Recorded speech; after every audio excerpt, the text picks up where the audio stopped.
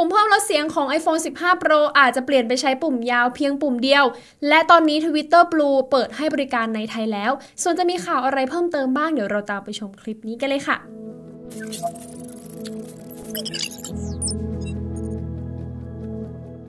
ทำความสะอาดยุคนี้ผมมีตัวช่วยครับ Acer Pure Clean V1 เครื่องดูดฝุ่นไร้สาย ทำความสะอาดง่ายอย่างมือโปร ดูดแรง น้ำหนักเบา ใช้ได้นานฝุ่นไม่เกาะห้อง Acer Pure Clean V1 เครื่องดูดฝุ่นไร้สายตัวนี้ที่ผมมั่นใจ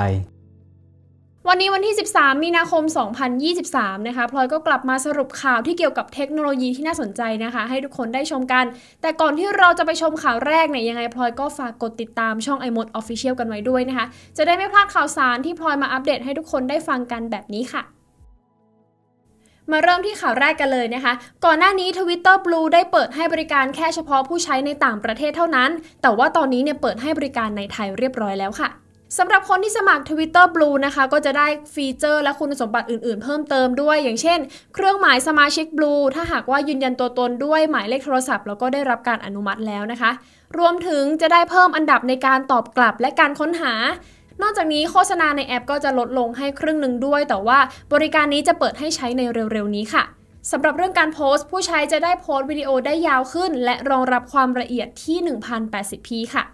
และสำหรับใครที่สมัคร Twitter Blue นะคะ ก็จะสามารถเข้าถึงฟีเจอร์ใหม่ๆ ได้ก่อนใคร อย่างเช่น ทวิตยาวขึ้นได้ 4,000 อักษร สามารถแก้ไขทวิตได้ 5 ครั้ง และบริการ NFT ด้วยค่ะ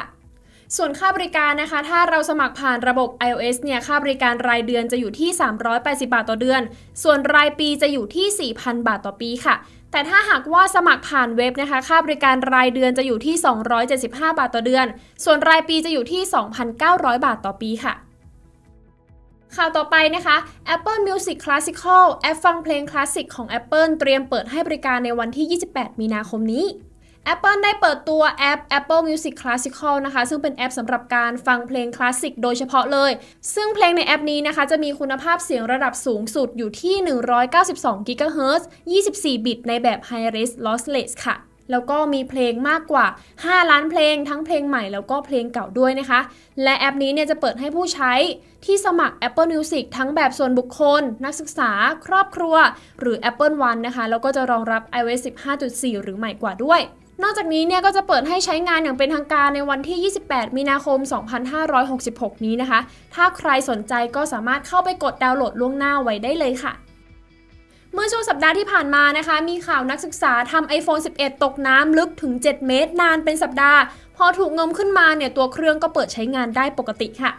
เหตุการณ์ที่เกิดขึ้นนี้นะคะก็คือเบรโนเนี่ยที่เป็นนักศึกษาสาวในบราซิล ได้พลัดตกน้ำในทะเลสาบแห่งหนึ่ง โชคดีที่เพื่อนของเธอนะคะ ช่วยไว้ได้ทัน แต่ว่าต้องแลกมากับ iPhone 11 ที่หลุดจมน้ำหายไปค่ะ เวลาผ่านไปประมาณ 1 สัปดาห์นะคะ มีนักประดาน้ำพบ iPhone 11 ที่ก้นทะเลสาบพอเขางมเอาขึ้นมาเนี่ยก็พบว่าตัวเครื่องยังเปิดได้ แต่ว่าตัวเครื่องเนี่ยถูกล็อกไว้นะคะ ไม่รู้ว่าเป็นของใครเขาก็เลยเอาไปประกาศตามหาเจ้าของในโซเชียลมีเดียค่ะ จนเบรโนเขากลับมาเห็นโพสต์ดังกล่าวนั่นเอง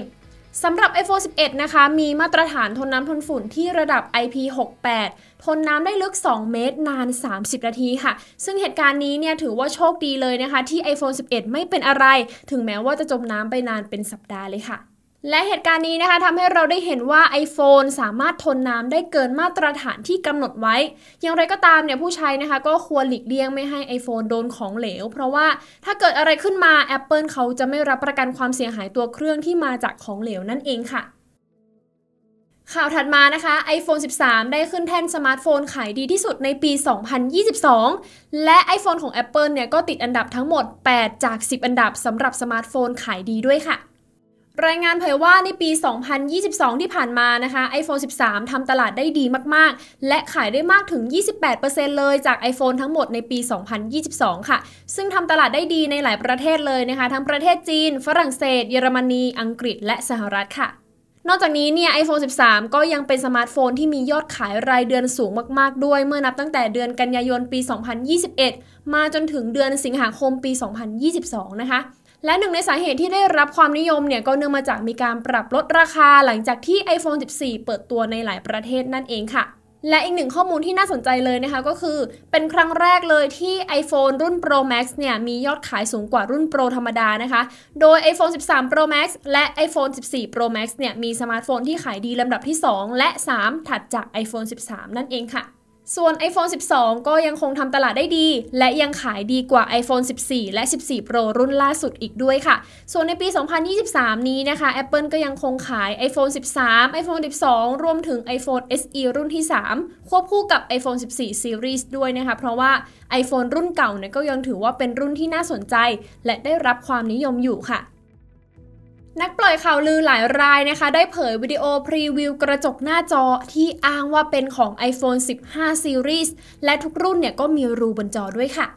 ก่อนหน้านี้นะคะมีรายงานว่า iPhone 15 ทุกรุ่นจะมาพร้อมกับดีไซน์รูบนจอ หรือที่เราเรียกว่า Dynamic Island นะคะ ซึ่งล่าสุดเจ้าพ่อเขาลือจากทวิตเตอร์นะคะ ได้อัปโหลดวิดีโอพรีวิวกระจกหน้าจอของ iPhone 15 โดยในวิดีโอเนี่ยมาจากเว็บไซต์ในจีนนะคะ ที่เผยให้เห็นถึงกระจกหน้าจอของ iPhone อยู่ 3 ชิ้น โดยทุกชิ้นเนี่ยมีรูบนจอแล้วก็มีขอบจอที่บางลงด้วยค่ะ ส่วน iPhone 15 และ 15 Plus นะคะ จะยังคงใช้ขอบหน้าจอหนาเท่าเดิม ส่วน iPhone 15 Pro และ 15 Pro Max เนี่ย ก็จะมีขอบจอที่บางลง และทุกรุ่นจะยังคงใช้ตัวเครื่องทรงเหลี่ยม แต่ว่าขอบเครื่องจะมีความโค้งมนคล้ายกับ iPhone 11 มากขึ้นค่ะ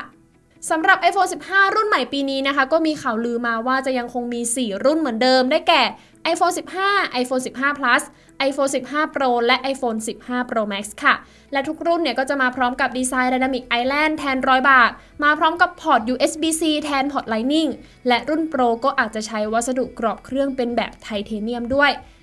ส่วนเรื่องการเปิดตัวเนี่ย iPhone 15 นะคะ ก็คาดว่าจะเปิดตัวในเดือนกันยายนปลายปีนี้ ตามกำหนดการเปิดตัวปกติของ Apple จะเป็นยังไงก็ต้องรอลุ้นกันค่ะ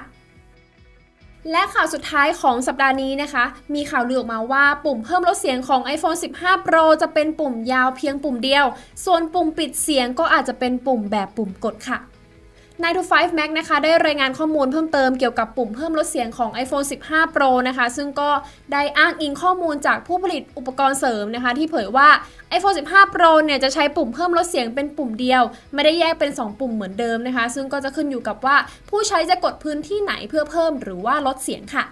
และ iPhone 15 Pro นะคะ ก็มีข่าวลือออกมาว่าจะเปลี่ยนปุ่มด้านข้างเป็นแบบ solid state นะคะ ที่เรียบไปกับตัวเครื่องเลย คล้ายกับปุ่ม Home ของ iPhone 7 ถ้าหากว่าผู้ใช้ไปแตะหรือว่าสัมผัสที่ปุ่มเนี่ย ก็จะมี haptic touch สำหรับการสั่นตอบสนองด้วยค่ะถ้าเราดูจากในภาพ render แล้วนะคะ จะเห็นว่าปุ่มเพิ่มลดเสียงเนี่ยจะมีพื้นที่ครอบอยู่อันเดียวนะคะ จึงมีโอกาสเป็นไปได้ที่ภายนอกเราเห็นเป็นปุ่มเดียว แต่ว่าข้างในเนี่ยจะแยกเป็น 2 ปุ่ม เหมือนกับ iPhone แล้วก็ iPad รุ่นเก่าๆ นั่นเองค่ะ